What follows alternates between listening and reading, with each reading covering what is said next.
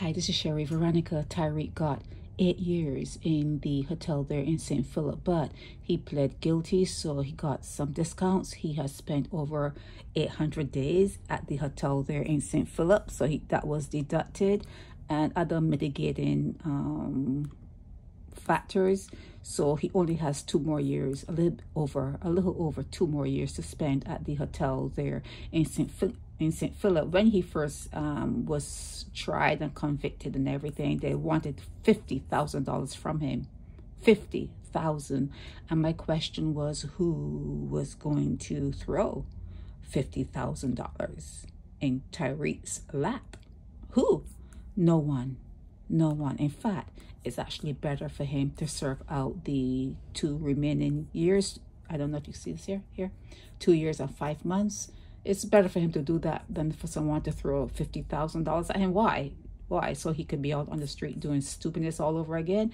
Well, you know that he had a weapon and he had um, ammunition. And when the police went looking, he ran and they found it. He was trying to flush some stuff down the toilet, but they found him. This is something that I blogged on before.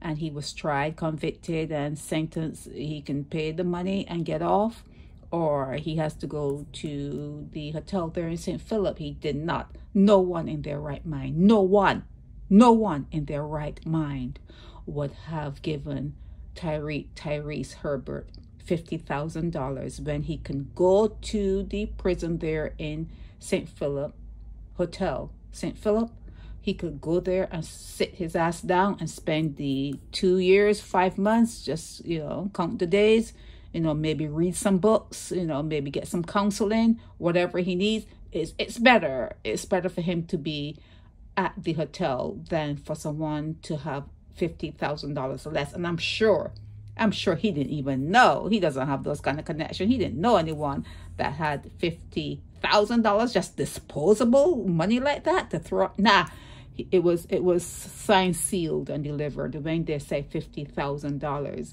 It was a joke it was a ruse, okay? No one was going to have that money for someone like Tyrique. So he's off to the Hotel St. Philip for another two years, five months. So girls, girls, girls, hold on. He'll soon be out, okay? This is Sheri Veronica.